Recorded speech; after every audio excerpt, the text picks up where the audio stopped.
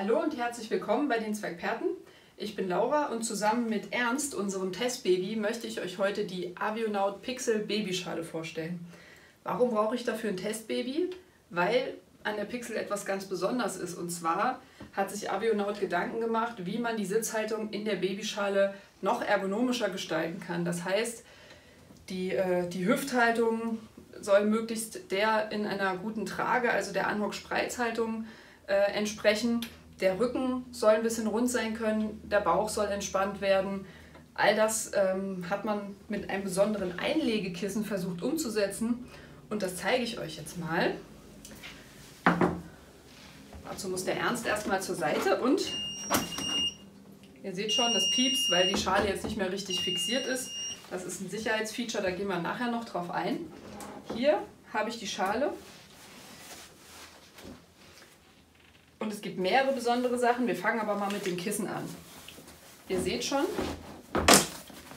hier dieses eckige Kissen, wo man erstmal denkt, wie soll denn das bequem und ergonomisch sein? Es führt aber dazu, dass das Kind hier drauf sitzt und die Beinchen erstmal so gestützt werden bei einem Neugeborenen. Ja? Das heißt, das Kind kann hier, im Auto liegt es ja dann noch ein bisschen mehr um. Das heißt, es ist keine Sitzhaltung, denn in den meisten Sitzen gehen die Beine ja sonst so nach gerade, nach gerade nach vorne, sondern es ist wirklich eine Haltung, in der das Kind hier die Beine schön anwinkeln kann, der Bauch entspannt wird, der Rücken bleibt gerade.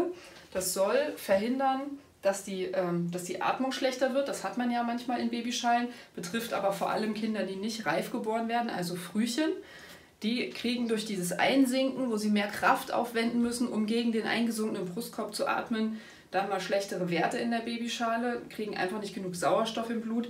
Das soll hier vermindert werden. Noch dazu soll auch der Reflux, das heißt, dass Mageninhalt nach oben fließt, verhindert werden. Das passiert ja oft am Anfang, weil der Schließmuskel des Magens noch nicht so gut arbeitet. Bei manchen Babys mehr als bei anderen. Und das kann hier wohl auch recht effektiv verhindert werden. Ich kann das Baby erstmal hier so anschnallen. Hier oben habe ich ein Kopfpolster. Und ihr werdet jetzt schon sehen, das sieht anders aus, als man das kennt. Nämlich, das Schloss ist hier unten. Da haben wir natürlich als erstes gesagt, ist das denn gut so? Man kennt das doch eigentlich, dass das hier an den knöchernen Strukturen sein soll. Es ist aber hier so gedacht, dass eben gerade dieser Druck auf die weichen Strukturen, die noch sehr weichen Knochenstrukturen des Babys, keinen Druck ausüben, sondern dass das hier unten von dem Kissen abgefangen wird und das Baby hier gesichert wird. Noch dazu ist es hier mit solchen Seitenprotektoren vom Einsatz sehr gut eingefasst und kann, äh, kann da auch nicht rausrutschen. Wir sehen an sehr guten Testwerten, dass die Sicherheit hier wirklich stimmt und dass man einfach mit dieser veränderten Sitzposition mal eine andere Herangehensweise hat an die Sitzposition von Neugeborenen. Wenn das Kind jetzt älter wird, dann kann ich das verändern. Bei dieser Schale verändere ich nicht die Höhe der Gurte, das ist fixiert, sondern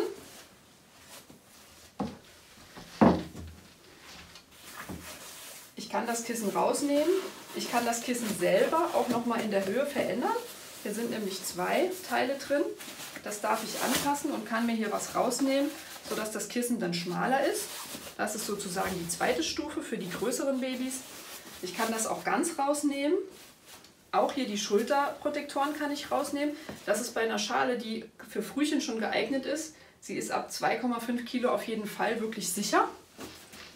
Bei so einer Schale ist das total wichtig, weil Frühchen müssen ja oft von vielen Seiten erstmal gestützt werden und dann muss ich das nach und nach rausnehmen können und das muss wirklich gut mitwachsen. Ne? Ganz am Schluss, wenn das Kind dann groß ist, nehme ich alles raus. Das sieht hier am Kopf recht weit aus. Man hat aber gesehen, dass es sicherheitstechnisch keine Einbußen mit sich bringt und dass das Kind dann natürlich, wenn es älter wird, einen schönen Blick nach außen hat. Das sorgt oft auch für ein bisschen mehr Zufriedenheit im Auto. Ich habe also wirklich hier eine interessante Lösung, die gerade für Eltern mit Kindern, denen am Anfang der Start nicht ganz so leicht fällt, super interessant sein kann. Es ist ein angenehmer Bezug, wie wir das von vielen Schalen kennen, dass man jetzt versucht, nicht mehr so sehr Bezüge zu haben, die sehr schwitzig sind. Das ist hier wirklich ganz schön gemacht. Ich habe hier überall schön Schaum drunter, ja, sodass das Kind auch dann ohne Einsatz wirklich bequem sitzt. Dann gibt es noch eine zweite ganz besondere Sache. Und zwar ist diese Schale anders gebaut als die anderen, die wir kennen. Ihr seht nämlich hier unten dieses Material. Ja? Das ist wie ähm, bekannt von Fahrradhelmen. Ne? Das ist so diese In-Mold-Technik. Hier ist unten nochmal ein Schutz drauf, dass das auch, wenn ich es abstelle, hier unten nicht kaputt geht. Und das ist wirklich stabil. Also wir haben schon gesehen, wie das Teil durch die Luft fliegt, aufkommt. Man muss sich keine Sorgen machen, dass hier irgendwas rausbricht. Das ist schon ein spezielles Material, aber es ist halt unheimlich leicht. Und das ist gerade am Anfang, wenn das Baby und die Schale zusammen immer schwerer werden. Und gerade für die Mütter, die nach der Geburt dann eigentlich den Beckenboden und Rücken noch schonen sollen, ist das wirklich eine tolle Sache. Die Schale wiegt also keine drei Kilo und das ist echt prima. Genau. Ihr habt hier noch den Sonnenschutz. Ne? Der wird hier oben dran festgemacht. Wenn man Gewicht sparen will, dann ist das natürlich kein super XXL Sonnenschutz, den ich auf verschiedene Weiten einstellen kann und so weiter, sondern hier ist wirklich versucht worden, Gewicht zu sparen und dabei die nötigsten Funktionen zu behalten. Ihr könnt die Schale auch auf eine Isofix-Basis stellen. Oder man kann sie eben angurten, das sieht man hier an diesen blauen Gurtführungen, so wie man das von Schalen kennt, Beckengurt drüber, Schultergurt hinten lang, fertig. Oder ich nehme hier die Isofix-Basis, wie ihr vorhin schon gehört habt, die Isofix-Basis hat einen akustischen äh, Warnton ja, und sie hat auch hier nochmal eine Anzeige.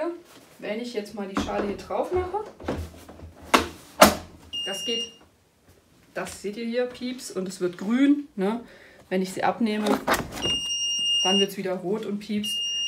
Das Schöne daran ist, ich merke, wenn ich sie nicht richtig aufgeklickt habe, beziehungsweise kriege eine klare Rückmeldung, okay, ist richtig aufgeklickt, und es geht wirklich leicht. Wir haben nämlich Schalen, bei denen muss man ganz schön fummeln erlebt. Und die hier, da muss ich das einfach nur hier hinten einsetzen. Dann drücke ich das nach vorne runter und dann ist das fest und alles gut.